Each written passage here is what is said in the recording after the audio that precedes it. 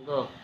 Ang mga higsunan, mayong ah, adlaw kanatong tanan uban nato si Ido Viges Llano no? Usa siya ka na iglesia ni Kristo nga tigsamba tigsimbahan jud sa Graham no?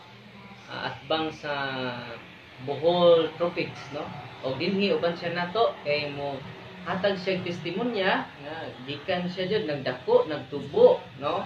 Nga iglesia ni Kristo apan karon nag-decide siya nga mubalhin, di mo balik ha, mubalhin sa pagtuong katoliko, no? Rag-ido, no? Mayong adlaw kanimo. Kung ang itimbaya ang atong mga naminaw karon, no? Ang daw sa ang karon ito. Ang karon dito sa lukon gusto na kong balhin sa katoliko. Iya mo galay tumong sa pagkaitisya hindi hindi na karon nga nasabi na ko sa kamatuoran na hindi na magiging maayo kung hindi ko balhin. Ba? So pagkatinood lang dyan, may taon na ko nga gisigihan o sa Agdi. Tangyaw. CFD. Pero ako, marag ang pagtuko dito sa Christian na katulong ang pagtuko ang Christian Ginoon Christian Cristo. Nga ito nga, kuan, abot ang tayo nga, nga ito nga abot ang dibat, debate, tali nga, Karel Darwin, nga Ramil Parba, ito na pala tinaw yun ang tanan nga, ayok dito kayo ang Christian. Nga mo ito nga, Amo ko lang tumo nga magsilbi sa Ginoo nganong dili man ta dili man ta balik sa Ginoo. Mga mga nang karon nga kung tuyo nga ito na dito mo balhin na ang pagpapahunda ko sa katoliko. Kay mamo mama na mama din ang Ginoo sa yung tukod ng Kristo.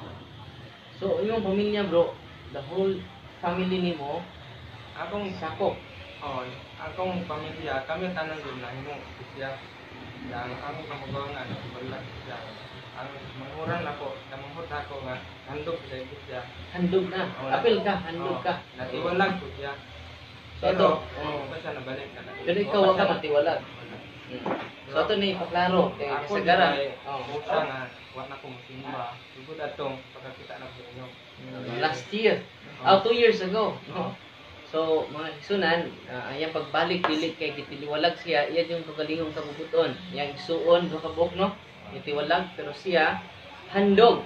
Sa may kalainan na ng handog sa mga ordinaryong membro, dili basta-basta kay ang teaching nila sa handog mao na nga uh, na kay lugar o dapit sa langit yun. Basta handog ka mo nang di na sila ganahan mabalin og lain na kay lugar sa langit. Pero si Suong Ido na Yano, no, ni-decide siya, no? Kuman sa nakakita siya sa kamatuuran, no? Unya mo ni nga to ning pa lanog karon kay lipay ta, no? Yan man, matod pa ni Kristo, no? Ang maghatag nato o kagawasan mauman ang pagakos sa kamatuuran, no?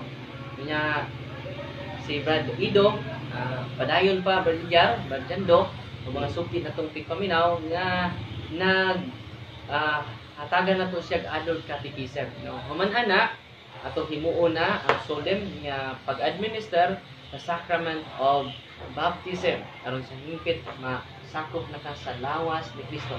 Mo ni tinuod nga iglesia ni Kristo Brad Ido no? Kaya salamat kayo sa sunod adlaw no makiguban gyud po nato siya no alang sa series sa adult catechism Ug salamat kayo bro o sa atong mga suking tigpaminaw nga kanunay nag nagsubaybay sa atong programa dinhi sa DYFB. Daghang salamat o welcome home, Brother Edo. No? Ikaila juga ni Brother Roy Ripohio, kaya nagway. Oh, oh. Kisay head ron sa Iglesia Cristo sa Tibok Province? Ka sa pangalan mo program nag Ah, ano dili magbago. mo tumumuntin. So pag nanoy bag-o, no? Salamat kayo igsuon og nalay ko ng Ginoo.